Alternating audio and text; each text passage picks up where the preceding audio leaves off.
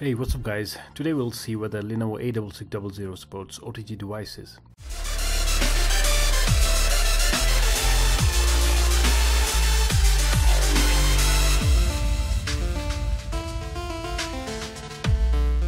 Okay, let's first of all use this.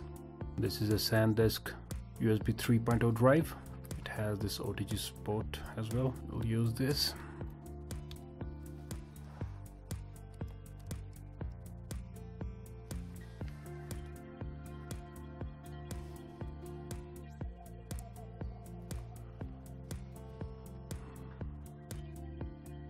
I don't think anything is happening.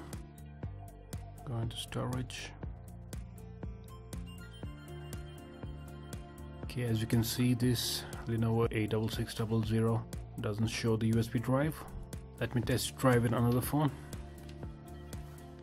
this drive we'll use this is Samsung Galaxy J7 Prime. We'll use this USB drive on this device.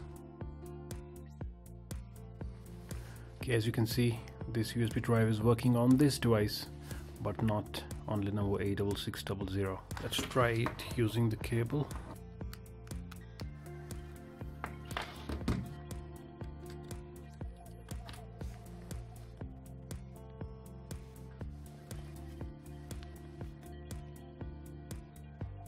Okay, nothing of the sorts is happening. I guess this device doesn't support OTG out of the box.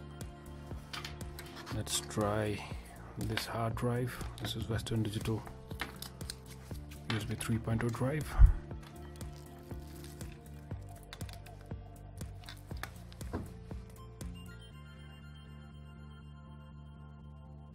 Okay this isn't working either. Let us remove this so as you just saw this device doesn't support OTG that's a very sad thing. So if this video helped you in some ways then don't forget to subscribe to my channel. That's it for this video. I'll catch you guys later